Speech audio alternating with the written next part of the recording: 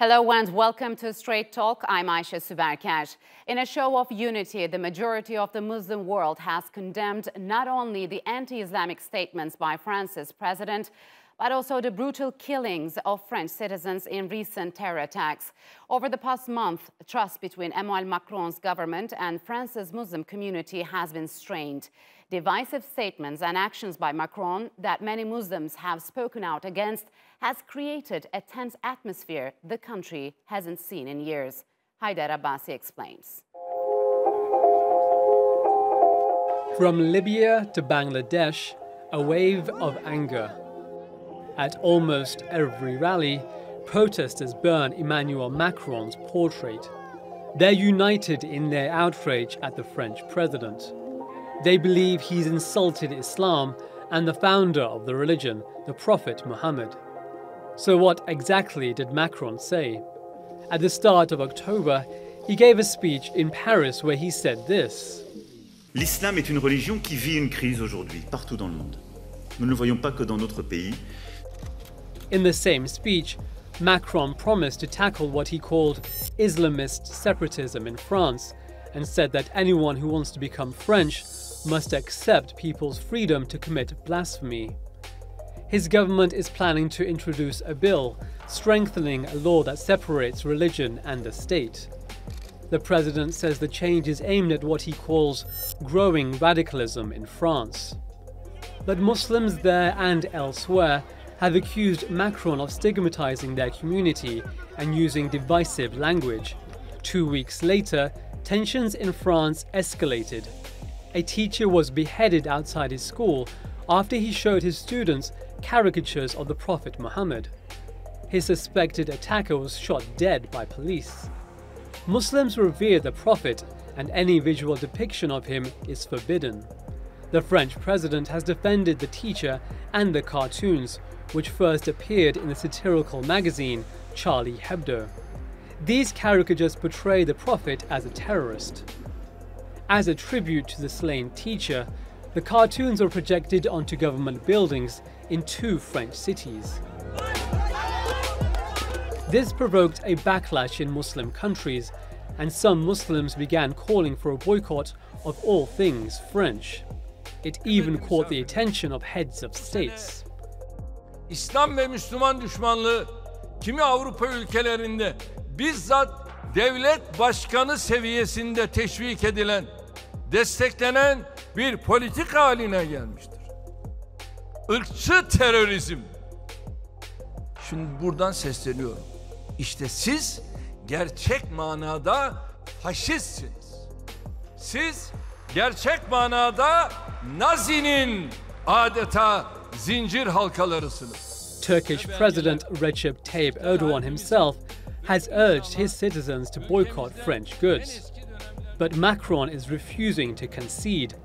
On Sunday, he tweeted, We will not give in, ever. We do not accept hate speech and defend reasonable debate. We will always be on the side of human dignity and universal values. Some analysts say Macron is pandering to the right as he looks towards the presidential election in 2022. But he is surely alienating French Muslims and damaging relations with Muslim states. Haider Abbasi, Strait Talk.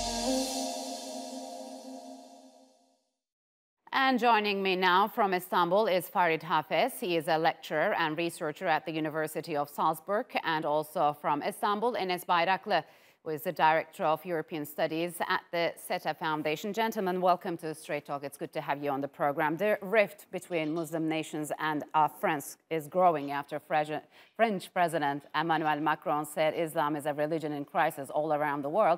And then he pressed ahead uh, defending the publication of cartoons depicting the Prophet Muhammad. So Farid, what does he have in his mind? Is he deliberately trying to be provocative?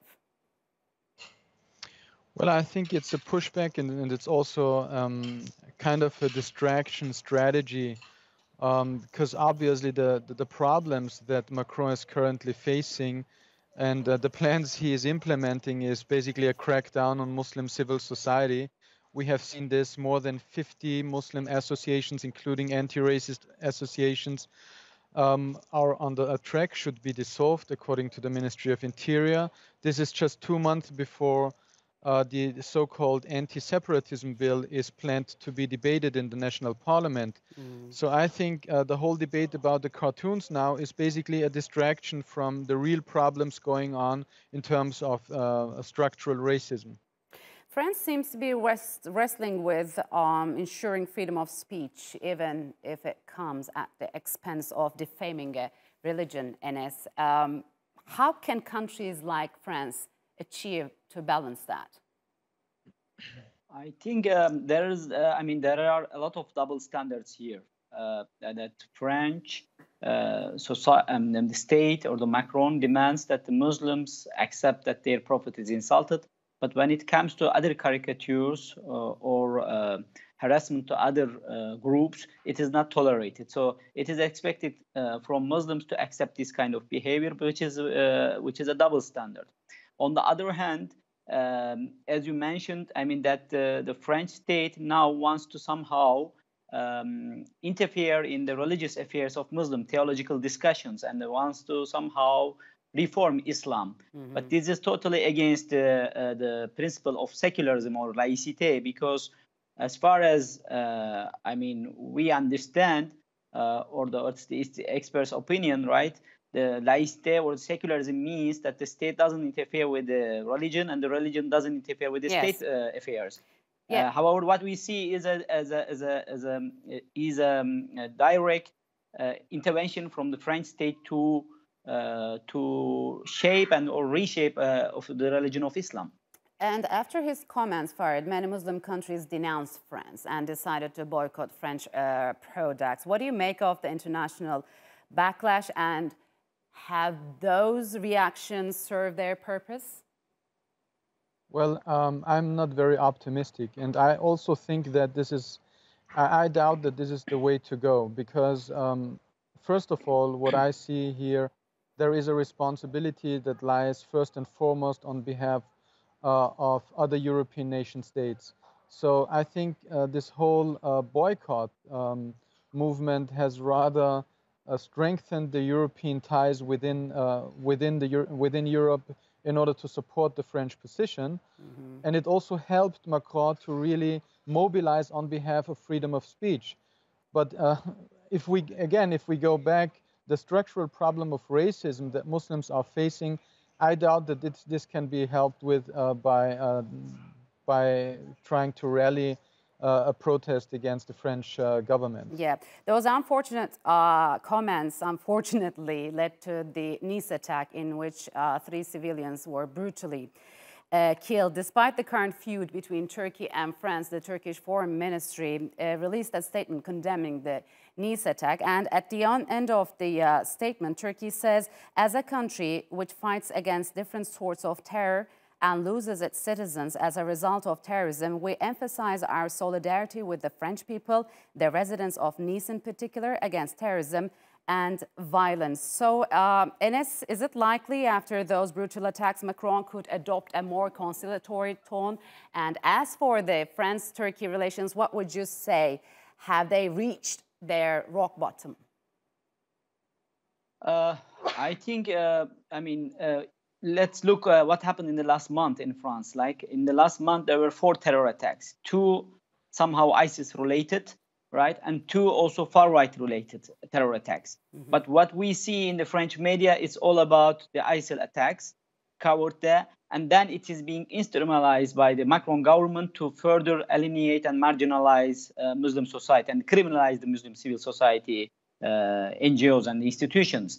Of course, this is a this is a very worrying development because uh, if the French government and the Macron is sincere, uh, it's in its goal to fight against radicalization, then it has to do it uh, against all kinds of radicalization. Yes. And we also see that there is a uh, there is a strong radicalization amongst the far right, and that leads to also terror attacks. So by only focusing on Muslims, uh, this is uh, this is this is uh, I mean associating the only Muslims and Islam with the terrorism. This is what is unacceptable, and I think this is the main problem here. Yeah, those caricatures were first published in 2006 by a Danish newspaper, Jyllands-Posten, sparking a wave of protests again around the world. But uh, then late uh, President Jacques Chirac had condemned decisions to reprint cartoons, including uh, the Prophet Muhammad, as an overt provocation. So Farid, how France uh, has come to this point? Well, I mean, I think uh, it is a manifestation of the situation, basically, that we that Muslims in, in France are are, are going through. Because um, I mean, cartoons are there, and I fully defend also the right to to draw whatever people want to draw, but they're basically there to criticize those in power. I think what the problem that we are facing with these kinds of cartoons in this context, also with Charlie Hebdo, is that it is the most marginalized people that are criticized, while there is a majority and people who are in a dominant position who draw and can mobilize this the freedom of speech uh, theme in order to strengthen their power and to further alienate uh, those already being marginalized. So mm. I don't see that the cartoon here really serves the purpose of really criticizing those in power, but it rather further reaffirms the power position of those who further marginalize the marginalized, racialized other, the Muslim people. But uh, what kind of mechanisms then Enes should be employed to fight anti-Islam sentiments and anti-Islam rhetoric, given that there are about 44 million Muslims living across Europe? Uh, look, I mean, the Muslims, as, as Farid said, quite a weak minority in terms of economical power, political power, cultural power. I mean, Muslims are not even uh, even enough represented in the in the French Parliament. There are only eight Muslim uh, MPs in the uh, in the in the French Parliament, although the uh, eight percent, almost until the ten percent of the population is Muslim. Mm-hmm. So that uh, shows us that Muslims are quite a weak minority in France, and they don't have the, any means to fight against this uh, discrimination.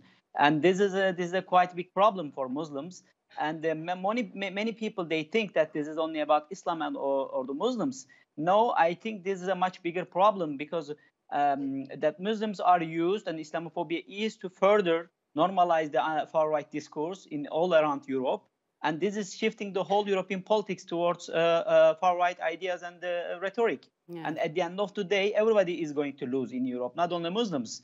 Uh, but uh, I think many people they do not realize it. This and they think this is the only Muslims problem, but I don't think this is the, uh, the, the, Muslim problem only. So Farid, what's the way out of this conundrum?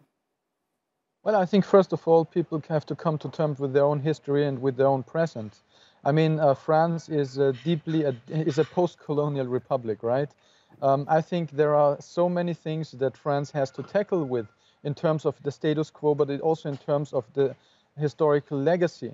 And people in, in, in Europe in general, specifically in Western Europe, have to come to terms with the fact that there is a massive problem with anti-Muslim racism. If this is not even recognized as a problem, then we are far away from even coming uh, coming to uh, to discuss about any kind of solutions. I mean, there are so many anti-racist uh, organizations and people who are standing on the right side who know what could be done. But I see that, that there is, in many European countries, and first and foremost France, that there is no political will to do that. All right, gentlemen. Unfortunately, we'll have to leave it here. Thank you very much for joining us on Strait Talk. Thank you. Thank you for having us. Last year, Libya was in an all-out war with itself. Warlord Khalifa Haftar, armed with Gulf weapons and money, launched a brutal assault to take Libya's capital, Tripoli. But that campaign failed and was marred by indiscriminate attacks on civilians that left hundreds dead and thousands displaced. But now there seems to be a sliver of hope. The Security Council has called on Libya's warring parties to come to a political solution after ratifying a UN-brokered ceasefire reached in Geneva.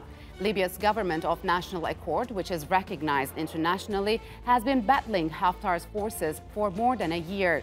But since repelling his illegal militias from the capital, fighting has bogged down mostly into a stalemate. As part of the ceasefire, the warring sides agreed that foreign troops and mercenaries would leave.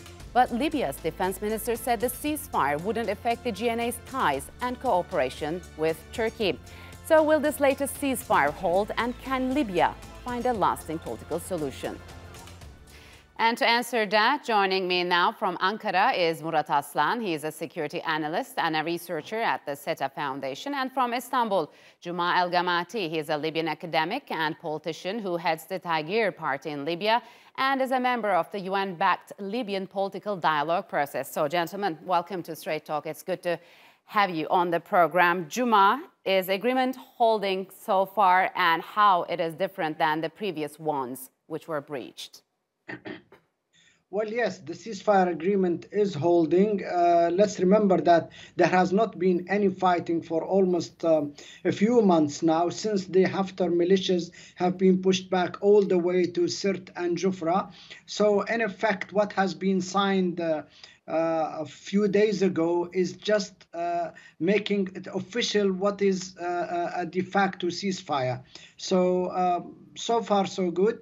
Uh, now that Haftar has or his representatives have agreed to sign this official ceasefire. This is a big shift on his side. Remember, back in Moscow in January, yes. he refused to sign any ceasefire, whereas Sarraj uh, was happy to do so under the auspices and the guarantee of both Turkey and, the and, and Russia. So now we see a big shift in, in Haftar's position. Obviously, after he was defeated heavily uh, in his uh, uh, war attempt to take yes. over power by force in Tripoli. So, yes, the ceasefire is holding. There has been no fighting for a few months now. Okay. Uh, Murat, Turkish President Erdogan questioned the viability of this agreement, uh, ceasefire, saying it was not made at the highest level. So uh, he remains skeptical. Is he right to be suspicious of something or maybe warlord Khalifa Haftar? Diplomatic agreements are always good, though, if it offers a kind of opportunity to exploit the situation, then question marks arise, as you know. So I think President Erdogan is really concerned if anybody in Libya will exploit the established uh, status quo mm-hmm. and actually very concerned about the outcomes after the dialogue forum is realized because current picture in this forum is 61% favoring Haftar's. That means uh, President Erdogan is really focused on the outcomes that mm-hmm. will downgrade the position of Tripoli government. So have all sides, Guma, concerned been included in the process? Well, I think I think um, there has been concerns and caution about the whether that all the um, the, the parts of the agreement will be implemented. Mm-hmm. I think uh, uh, implementation is the key word. And in this sense, uh, and in this regard, President Erdogan was absolutely right to, to highlight uh, caution and concerns that uh, it might not be implemented. Because one of the, the key things uh, it talks about this agreement is the withdrawal of all foreign fighters. Mercen- yes. Yeah, all mercenaries and foreign fighters from Libya totally uh, removed from Libya within 60 days. Is it now, is it viable? Is this viable? Is this timetable viable? And does it cover, for example, arms sales by other countries to Libya, like the United Arab Emirates, France, Egypt, and Russia? Well, well, well, the removal of foreign fighters and mercenaries will never be viable, and it will never be implemented if Russia and the Emiratis do not deliver that. Because where do these mercenaries come from? Uh, almost over 3000 are directly from russia as wagner mercenaries. Uh, mm-hmm. uh, over 6000 of them are janjaweed from sudan which the emiratis brought in to fight on haftar's side and the emiratis pay for them. There are hundreds who are from chad as well. So if these sponsor countries like the russians russia and the emiratis do not push and, and exert pressure to remove these fighters, then they will never be removed. Yes. I don't think Haftar has Haftar does not have any control over these uh, mercenaries. Russia has a direct control over the Wagner fighters. So, in a sense, we are dealing with Russia rather than dealing with Haftar, who is a mere proxy. So, uh, Murat, how will this agreement impact Turkey's military cooperation uh, with the legitimate government?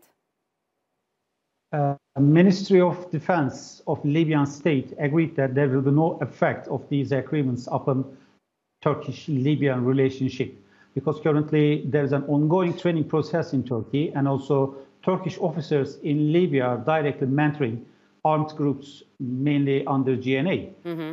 Uh, that means uh, there will be no effect on it. That, that, actually it's from the Libyan side that they claim it.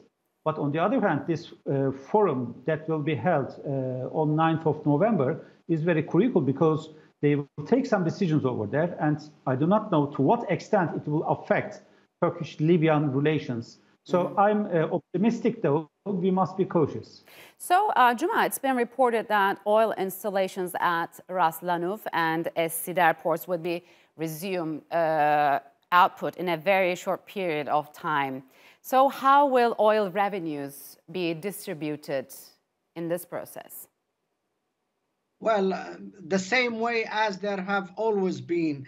The NOC, the National Oil Corporation, is the sovereign institution that's in charge of the whole oil sector in Libya, including production and export. The revenue of the oil exports goes first to an account uh, belonging to the Libya Foreign Bank, and then uh, within a few weeks after that, it goes straight to the central bank in, in Tripoli, which is the only Libya central bank that's recognized by the whole world. So there has not been any change in the mechanism so far. However, uh, I think this is a temporary arrangement. Uh, the, the, the, the, resumption of oil exports is a welcome move. Now production is up to a level of about 800,000 barrels a day. Uh, the normal level should be around 1.5 million. So we're almost, we're over half of the uh, of the normal level and uh, until until we have a, a, comprehensive political agreement which tackles the issue of uh, revenue uh, of wealth distribution, uh, then the mechanism is still the same and it has not changed. And, and, and it's in the, the oil revenues, oil export and revenues are managed by the legitimate GNA government in mm-hmm. Tripoli, and the oil revenues go to the central bank in Tripoli. So, Guma, uh, how could Sarraj's resignation impact this process? We know that the High Council of State and House of Representatives have both called on Sarraj uh, to delay his resignations. Uh, what will he do if he resigns? Who is going to replace him? Very shortly, please. Well, he's not going to leave office until there is an agreement out of the political uh, process or dialogue that's going to start officially in Tunisia uh, in about uh, 10 days. On November 9th, the Libya Political Dialogue Forum will start officially. It might mm-hmm. go on for a couple of weeks or a bit more. Hopefully, it will reach a comprehensive agreement on the next stage in Libya, including a replacement of Sarraj and his colleagues with a new presidential council of three members only and a separate prime minister. So Sarraj will remain in office and will remain in charge until a replacement body has been named out of the Libya dialogue process, and then that that uh, new body or the new names will be will have the legitimacy to take over from Sarraj. Yes.